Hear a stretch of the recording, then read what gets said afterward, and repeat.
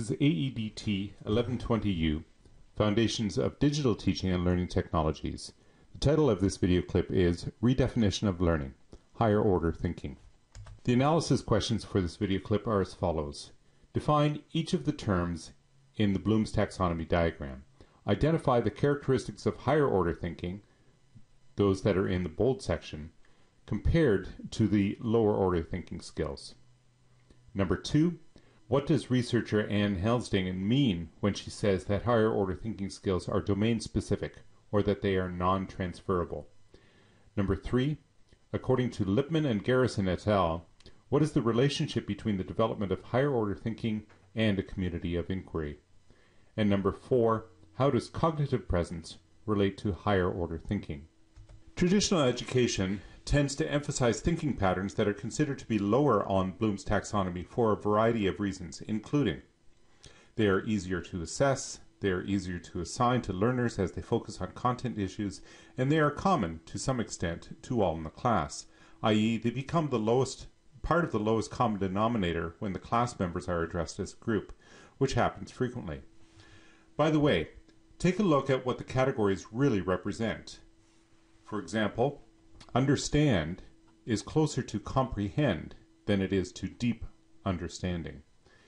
The epistemological order is primarily concerned with assigning the lower order thinking patterns or skills to the computer, which can do these easier and quicker, so that human learners can develop the higher order thinking skills and patterns to a higher degree.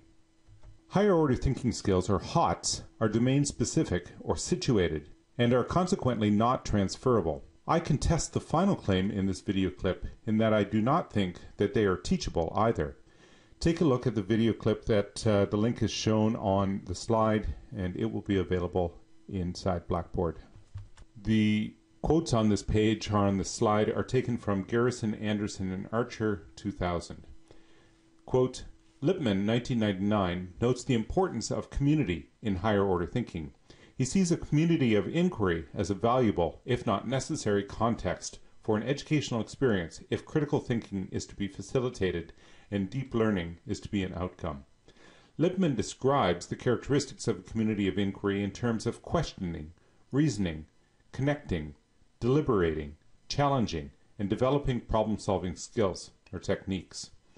Cons- consistent with this, Ramsden in 1988 argues that the opportunity to negotiate meaning, diagnose misconceptions, and challenge accepted beliefs, as in the community of inquiry described by Lipman, is essential for deep and meaningful educational experiences.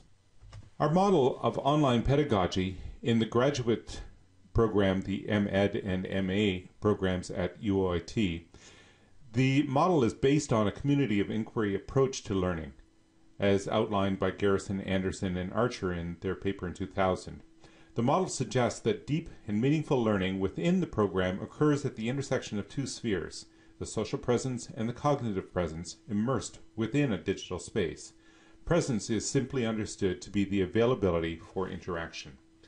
Digital space then is defined or described as um, it providing systems, structures, and processes that facilitate ubiquitous learning the digital space also provides technological support and affordances for the development of tools and environments that enhance critical thinking, higher order learning, and diverse communications. The digital space describes a context of a completely online, using synchronous as well as asynchronous digital tools program, in that all tech uh, interactions with students in a formal course setting will occur within the space to ensure equity of access and experience to all students, regardless of geographic or temporal location.